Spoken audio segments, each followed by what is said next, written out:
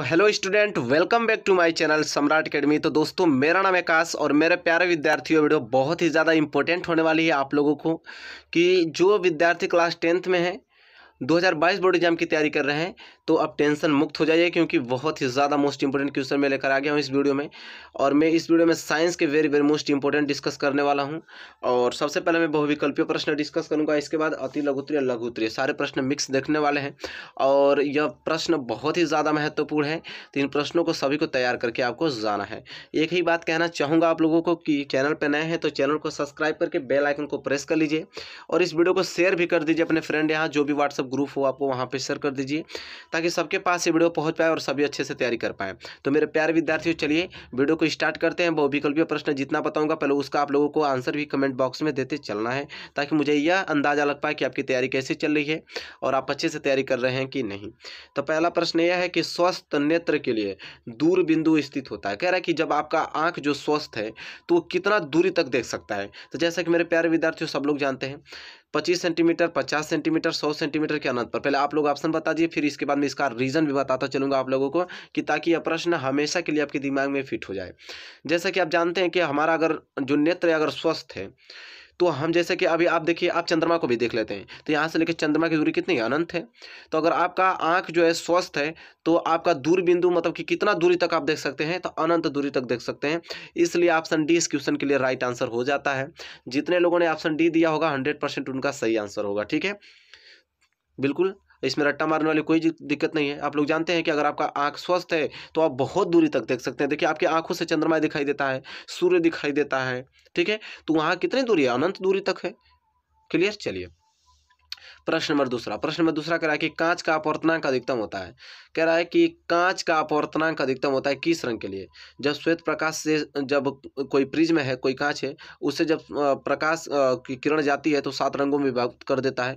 तो सबसे अधिक अपवर्तनांक किस रंग का होता है, ये पूछ रहा है। लाल रंग के लिए कि पीले रंग के लिए कि बैगनी रंग के लिए कि हरे रंग के लिए? बताए वेरी मोस्ट इंपॉर्टेंट है। तो सबको मालूम है कि अगर कोई प्रिज्म से अगर श्वेत प्रकाश जा रही है तो वो सात रंगों में विक्षेपण कर देता है, जो कि सबसे ज़्यादा अपवर्तनांक किस रंग का होता है तो बैगनी रंग का होता है। ऑप्शन सी इस क्वेश्चन के लिए राइट आंसर हो जाएगा, ठीक है? आई होप आपको प्रश्न नंबर दूसरा अच्छे तरीके से क्लियर हो गया होगा। कोई भी डाउट नहीं होगा आप लोगों को, ठीक है? आइए, प्रश्न नंबर तीसरा देख लेते हैं, जो कि वेरी वेरी मोस्ट इंपॉर्टेंट है। प्रश्न नंबर तीसरा यह है कि समतल दर्पण की फोकस दूरी है। कह रहा है कि अगर दर्पण आपका समतल है तो फोकस दूरी कितना सेंटीमीटर होगा? शून्य, अनंत पच्चीस सेंटीमीटर माइनस पच्चीस सेंटीमीटर चलिए, बताइए वेरी मोस्ट इंपॉर्टेंट क्वेश्चन है। तो जैसा कि आप लोग भी जानते हैं कि अगर दर्पण आपका समतल दर्पण है तो समतल दर्पण की जो फोकस दूरी होगी जहाँ तक कितनी हो सकती है फोकस दूरी मैक्सिमम तो बताइए, चार ऑप्शन दिया हुआ चार ऑप्शन में से कौन सा राइट आंसर होगा आप लोगों को बताना है। तो जैसा कि सबको मालूम है कि समतल दर्पण की फोकस दूरी अनंत होती है। कितनी होती है? अनंत होती है समतल दर्पण की। तो ऑप्शन बी इस क्वेश्चन के लिए राइट आंसर हो जाएगा, ठीक है? जितने लोगों ने ऑप्शन बी दिया है, उनका बिल्कुल आंसर सही है। तो इसी के साथ हम बढ़ेंगे अगले प्रश्न की तरफ़। और जैसा कि देख पा रहे हैं, प्रश्न number four very very most important question है।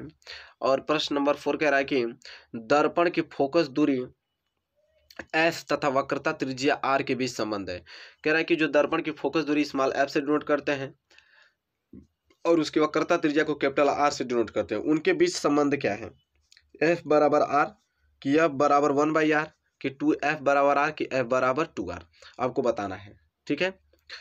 तो वेरी मोस्ट इंपॉर्टेंट क्वेश्चन बताइए तो जैसा कि आप लोग जानते हैं देखिए इसका दो आंसर होगा। जैसा कि आप जानते हैं कि एफ़ बराबर होता है आर बाई टू अगर ऑप्शन में यह मिल जाता है तो इसी को मार देंगे। अगर ये ऑप्शन में नहीं रहेगा तो यहाँ से अगर आर की वैल्यू निकालना चाहूँगा तो दो को गुड़ा एफ़ में होगा तो टू एफ़ हो जाएगा। तो आर बराबर टू एफ़ या तो यह होगा या तो यह। दोनों ऑप्शन में कोई ना कोई एक मिलेगा, ठीक है? तो टू एफ़ बराबर आर, देखिए ऑप्शन सी, आर बराबर टू एफ़ मिल गया ना, अगर कभी कभी ये नहीं देता यह दे देता है यह बराबर आर बाई टू तो जहाँ पे भी ये दिखे तो इसको मार दीजिएगा, नहीं तो ये रहेगा तो इसको मार दीजिएगा, दोनों में से कोई भी आ सकता है, ठीक है? तो आप लोगों को ये ख्याल रखना है तो आई होप आपको क्लियर हो गया प्रश्न नंबर फोर, कोई डाउट नहीं होना चाहिए। आइए क्वेश्चन नंबर फाइव की तरफ़ बढ़ेंगे और क्वेश्चन नंबर पाँचवा देखिए वेरी मोस्ट इंपॉर्टेंट है कि एक इलेक्ट्रॉन पर आवेश होता है। कह रहा है कि एक इलेक्ट्रॉन पर कितना आवेश होता है बताना आपको।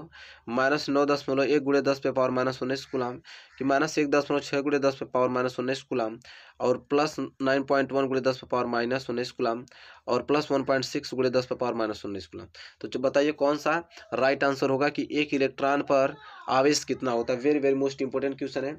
तो आपको बताते चलना है क्योंकि यह प्रश्न आपको बोर्ड एग्ज़ाम में पूछेगा हंड्रेड परसेंट पूछेगा, ये प्रश्न बहुत ही ज़्यादा महत्वपूर्ण है। तो एक इलेक्ट्रॉन पर आवेश कितना होता है, आपको बताना है? तो वन पॉइंट सिक्स गुड़े दस पे पावर माइनस उन्नीस गुलाम होता है ऑप्शन बी याद कर लीजिए इन प्रश्नों को, ठीक है? कभी भूलिएगा मत। माइनस वन पॉइंट सिक्स गुड़े दस पे पावर माइनस उन्नीस गुलाम होता है, एक इलेक्ट्रॉन पर आवेश होता है, ठीक है? आई होप आपको ये प्रश्न क्लियर हो गया होगा, प्रश्न नंबर फाइव और चलिए, प्रश्न नंबर सिक्स की तरफ़ बढ़ेंगे। और वेरी मोस्ट इंपोर्टेंट प्रश्न नंबर सिक्स जो कि आपकी स्क्रीन पर दिखाई दे रहा है कह रहा है यह प्रश्न नंबर सिक्स की विभवान्तर का मापक यंत्र है। कह रहा है कि विभवान्तर का मापक यंत्र क्या है?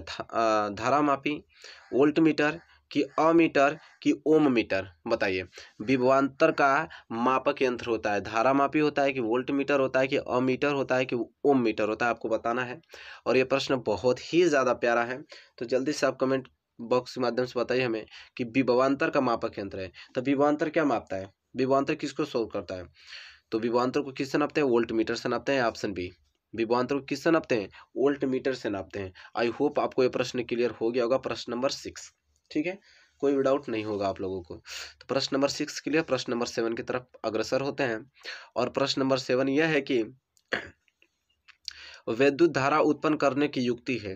कह रहा है कि वैद्युत धारा उत्पन्न करने की युक्ति, बताइए। जनित्र गैल्वेनोमीटर की, अमीटर की मीटर, बताइए। इन चारों ऑप्शन में से कौन सा ऑप्शन सही होगा? Very very most important question है। बताइए। विद्युत धारा उत्पन्न करने की युक्ति विद्युत धारा को हम किस यंत्र से नापते हैं? जनित्र की गैल्वेनोमीटर की अमीटर की मीटर से। बताइए। वेरी वेरी मोस्ट इंपोर्टेंट है। ठीक है? यह प्रश्न बहुत प्यारा कि विद्युत धारा उत्पन्न करने की युक्ति है। तो विद्युत धारा उत्पन्न करने की युक्ति क्या है? तो एक जनित्र क्या है? जनित्र है। ऑप्शन ए इस क्वेश्चन के लिए राइट आंसर हो जाएगा। क्या है? जनित्र है। चलिए। प्रश्न नंबर सेवन क्लियर? प्रश्न नंबर एट की तरफ़ बढ़ते हैं। प्रश्न नंबर एट देखिए क्या है? वेरी मोस्ट इंपोर्टेंट प्रश्न है। तो प्रश्न नंबर एट है कि डायनमो उत्पन्न करता है। कह रहा है कि डायनमो उत्पन्न करता है। डायनमो क्या उत्पन्न करता है? आवेश उत्पन्न करता है कि विद्युत वाहक बल उत्पन्न करता है कि विद्युत क्षेत्र उत्पन्न करता है कि चुंबकीय क्षेत्र उत्पन्न करता है? बताइए।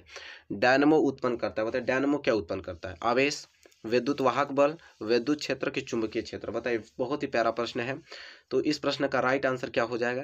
कि विद्युत वाहक बल। डायनमो जो है ना, वो क्या उत्पन्न करता है? तो विद्युत वाहक बल उत्पन्न करता है। इसलिए प्रश्न नंबर आठवें का जो राइट आंसर होगा ना, वो ऑप्शन बी होगा। क्लियर यहाँ तक? कोई समस्या नहीं होनी चाहिए।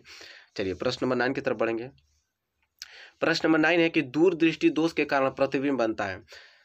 दूरदृष्टि दोष के कारण प्रतिबिंब कहाँ बनता है? रेटिना पर बनता है कि रेटिना से आगे बनता है कि रेटिना के पीछे बनता है कि कहीं नहीं बनता? बताए वेरी वेरी मोस्ट इंपॉर्टेंट यह प्रश्न है कि अगर आपको आँख में दूरदृष्टि दोष है तो उसके कारण जो प्रतिबिंब कहाँ बनता है? आपको बताना है बहुत ही प्यारा प्रश्न है, ठीक है? तो इन चारों ऑप्शनों में से कौन सा ऑप्शन सही होगा? आपको बताना है। रेटिना पर बनता है रेटिना से आगे रेटिना के पीछे कहीं नहीं। तो मेरे प्यारे विद्यार्थी, बता देना चाहूँगा कि दूर दृष्टि दोष के कारण प्रतिबिंब बनता है रेटिना के पीछे। अगर यही निकट दृष्टि दोष रहता है तो रेटिना से आगे प्रतिबिंब बनता तो दोनों प्रश्न यही याद कर लीजिए। निकट रहता ना, निकट दृष्टि दोष के कारण प्रतिबिंब बनता है तो रेटिना से आगे बनता है। लेकिन दूर दृष्टि दोष के कारण प्रतिबिंब बनता है रेटिना के पीछे बनता है, ठीक है? तो ऑप्शन सी इस क्वेश्चन के लिए राइट आंसर हो जाएगा। तो दोनों प्रश्न याद होना चाहिए आप लोगों को। कोई डाउट है यहाँ तक? कोई डाउट नहीं होना चाहिए। चलिए, प्रश्न नंबर टेन की तरफ़ बढ़ेंगे। प्रश्न नंबर टेन देखिए, बहुत ही प्यारा प्रश्न है। कह रहा है कि क्रांतिक कोड का मान अधिकतम होता है। जो क्रांतिक कोड होता है, उसका मान अधिकतम होता है किस रंग के लिए? बैगनी रंग के लिए, लाल रंग के लिए कि नीले रंग के लिए कि पीले रंग के लिए? बताइए, इन चारों ऑप्शन में से कौन सा ऑप्शन सही है? बहुत ही प्यारा प्रश्न है कि क्रांतिक कोण का मान अधिकतम होता है किस रंग के लिए? तो मेरे प्यारे विद्यार्थियों, क्रांतिक कोण का मान लाल रंग के लिए अधिकतम होता है, ठीक है? किस रंग के लिए? लाल रंग के लिए होता है। तो क्रांतिक कोण का मान अधिकतम होता है लाल रंग के लिए। तो मेरे प्यारे विद्यार्थियों, आई होप आपको प्रश्न नंबर दसवां अच्छे तरीके से क्लियर हो गया होगा। कोई भी डाउट आपको नहीं होगा प्रश्न नंबर दसवें में। बहुत ही प्यारा प्रश्न था मेरे प्यारे विद्यार्थियों। आई होप आप सारे प्रश्न आप लोगों को अच्छे तरीके से क्लियर हो गए होंगे। तो मेरे प्यारे विद्यार्थियों हमने दस महत्वपूर्ण आपको क्वेश्चन बताया, बहुविकल्पीय का बताया, इनमें से कितना क्वेश्चन आपने सही कर पाया है और कितना गलत कर पाया ठीक है? पूरा का पूरा डाटा हमको चाहिए, आप अच्छे से बताइए कि इतने प्रश्न में से कितना आपने सही किया है, कितना गलत किया है, ठीक है? और वीडियो को शेयर कीजिए ताकि आपके फ्रेंड भी इन दो प्रश्नों को अच्छे तरीके से देख पाए कि उनको कितना आ रहा है, कितना नहीं आ रहा है। प्रश्न बहुत ही ज़्यादा महत्वपूर्ण है, ये सारे प्रश्न पूछे जाएँगे बोर्ड एग्ज़ाम में, ठीक है? तो मेरे प्यार विद्यार्थी वीडियो पसंद आई हो तो प्लीज़ लाइक कीजिए और चैनल पर नए हैं तो चैनल को सब्सक्राइब करके बेलाइकन को प्रेस कर लीजिए। मिलेंगे एक प्यारे से नेक्स्ट वीडियो में, तब तक के लिए धन्यवाद।